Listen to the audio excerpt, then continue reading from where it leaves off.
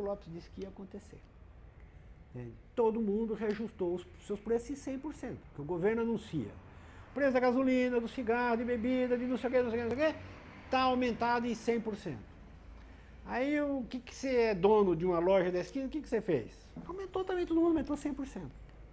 Foi o que aconteceu. Aí todo mundo ah, deu aquele aumento geral de preços, ninguém, aí o, o, o desrespeito ao congelamento foi total. Na verdade, se tornou toda uma estratégia para esperar as eleições que se deram no, em novembro naquele ano, e, e eles conseguiram realmente eleger 22 governadores do PMDB. Quando o pessoal do, da política elegeu os governadores que queria eleger, no dia 15 de novembro, no dia 16 teve uma inflação imediata de 100% de tudo e apareceu tudo nos mercados novamente. As pessoas estavam informadas e sabiam que vazava água por todo lado e a, e a manutenção do plano era artificial. Com um reajuste de preços dos principais produtos, de combustíveis, de energia elétrica, enfim, tudo. E há uma reação popular que nunca tinha se visto também. Uma reação de, de insatisfação popular que aqui em Brasília, por exemplo, resultou num quebra-quebra generalizado. A polícia usou gás lacrimogênio para dispersar os manifestantes, que reagiam com pedras que arrancavam do calçamento. No meio do tumulto, vários ônibus foram queimados e até carros da polícia. E houve necessidade de, de, de mobilização das Forças Armadas. Eu lembro que tanques foram acionados para conter a ira da população. Foi a primeira frustração, né? com o chamado plano heterodoxo. Primeiro que não deu certo. Se o plano cruzado teve problemas, foi porque, em grande parte porque o presidente não teve apoio político. Ele não tinha respaldo político. O programa era não conceder ao presidente Sarney que ele tivesse estabilidade. E sem esse apoio político, foi impossível que nós tomássemos até o fim as decisões que nós podíamos tomar e que realmente não, nos faltava apoio político. Ainda teria o lamentável episódio da moratória, né? O Brasil ainda quebrou no cenário externo, ficou sem dólares, teve que fazer a moratória e fez a moratória não porque foi uma decisão política, mas porque acabou o dinheiro, acabou, acabaram os dólares. Mas aí, para transformar a moratória num gesto político, o Sarney fez um discurso horroroso, dizendo que o Brasil estava adotando uma moratória soberana, conclamando os outros países a fazer a moratória soberana, quer dizer, um calote. Foi um grande problema que o Brasil teve. É, essa moratória de 87 só foi ser resolvida em 94. A dívida só foi renegociada em 1994. Até lá o Brasil ficou em calote, fora do mercado, numa situação é, ruim. Fogo Cruzado, um filme de guerra. Iniciamos hoje uma guerra de vida ou morte contra a inflação. Os militares tinham voltado aos quartéis, mas o Brasil viu surgir um novo tipo de soldado nas ruas. Os fiscais do Sarney, um exército de consumidores contra a alta dos preços. Vou estourar com a boca do balão, nós vamos dar um fim a tal remarcação.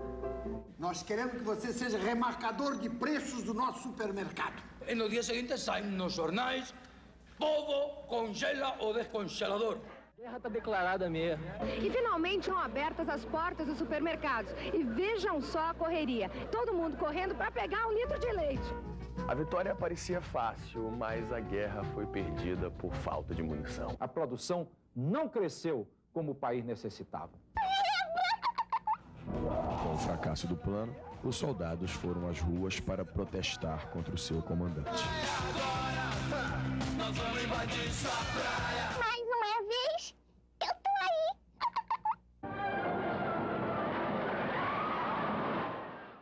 Foi no meio dessa crise brutal, aí o governo declara a moratória da sua dívida externa, né, isso em fevereiro, e em abril né, sou eu chamado para ser ministro da Fazenda.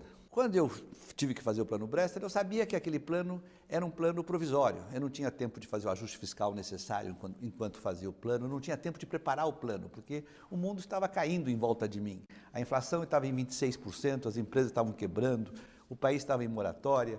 Era preciso fazer um plano que pusesse minimamente a ordem na casa e depois fizéssemos um segundo plano, né, alguns meses depois, que aí realmente acertasse todos os preços relativos, porque eu não ia conseguir.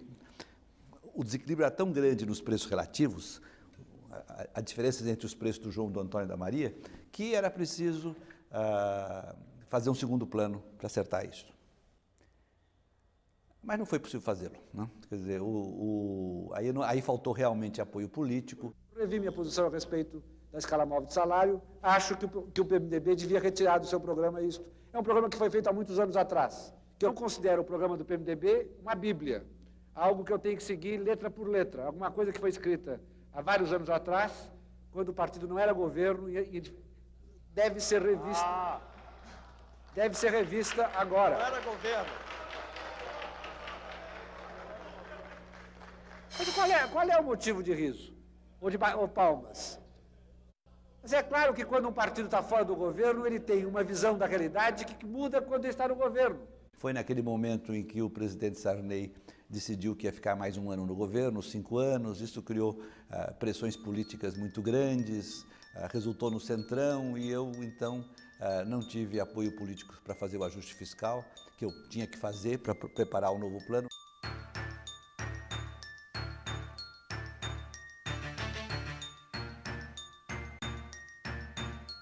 Aí tem o feijão com arroz com, com Maius, né? Diz que esse plano era bobagem, etc. Vamos fazer feijão com arroz, né? Ah, que era outra bobagem muito grande. E aí, mas em seguida ele viu que o feijão com arroz não dava certo e fez o plano verão. As medidas que hoje tomamos só são possíveis de tomar em momentos de extrema necessidade. Nós estávamos às vésperas de uma hiperinflação. Sem as decisões de hoje, a inflação poderia chegar a 1.500% ao ano. E nenhum Estado teve suas instituições preservadas em uma situação assim. Mas ele fez o plano verão aí sem nenhuma condição fiscal, uh, nenhuma. Não havia apoio na sociedade. Do ponto de vista salarial, a regra é melhor do que a que foi adotada no plano cruzado. E todos se lembram que no plano cruzado não houve arroz salarial. A classe trabalhadora possivelmente tenha tido um dos maiores prejuízos de todos os pacotes econômicos feitos até agora. Aliás, a classe trabalhadora vem acumulando prejuízo. Ela acumulou prejuízo no plano cruzado, acumulou no plano Bresto, ela vinha acumulando com a URP e agora acaba de acumular um prejuízo enorme, principalmente se a inflação beirar a casa dos 60% ou 70% no mês de janeiro. A inflação baixará. E baixará muito. Retomaremos o crescimento econômico. O país irá recuperar sua confiança. Os preços ficarão estabilizados. Os investimentos públicos não inflacionários voltarão. Voltarão também os investimentos privados. As eleições deste ano serão tranquilas. E o futuro presidente, eleito em novembro, encontrará o Brasil em condições de dar um novo e grande salto para o futuro.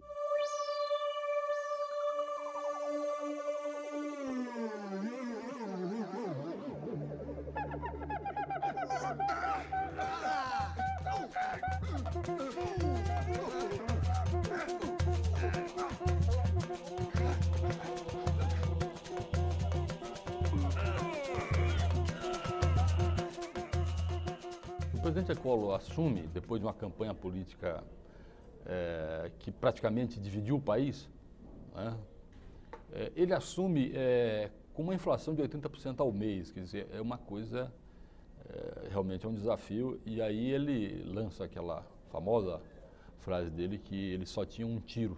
Um rifle na mão e apenas com uma bala nesse rifle. E nós temos que acertar esse tiro de modo a liquidar a inflação. Ele simplesmente faz um confisco de todos os ativos financeiros do país. Né? Ele confisca tudo. É, e deixa todo mundo com é, 50 cruzeiros né? na época. No caso do plano Collor, é bom lembrar que ele nos trouxe uma certa tranquilidade quando ele acusava o Lula de que se o Lula ganhasse as eleições, era o Lula que ia fazer o, o, o, a, pegar, o, ia pegar o dinheiro da poupança do povo.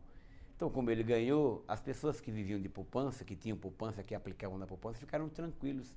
O instante ontem vivido por toda esta nação, é e dá a real dimensão desse momento histórico que todos nós compartilhamos. Hoje, como cabe ao governo eleito, adotamos as medidas prometidas no decorrer da campanha eleitoral. Na verdade, precisa ficar claro o seguinte, que nós temos uma moeda, que é uma moeda velha, contaminada, que nós queremos isolar. Essa moeda, esses depósitos vão ficar lá parados no Banco Central.